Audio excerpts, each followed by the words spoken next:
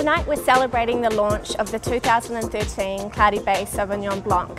2013 is a very well documented vintage for all of New Zealand. It was a drought. We had lots of sunshine, very dry conditions and really, really cool nights to preserve the intensity of the flavour. Lots of citrus, grapefruit, passion fruit, a little bit of lemongrass and a really rich palate that we see in really warm years. Top chef Mark Southon, inspired by the tasting notes, has captured the essence of summer on a single spoon. The dish what I've created tonight is South Island Scampi. got some pear, vanilla and some citrus oil. Also got a little scampi jelly. Scampi is going to be served just above raw, so it's nice and fresh. It's been a challenging task. I've not tried the wine yet, I've just been going off the tasting notes. So I can't wait to taste it and see if I've done my job right.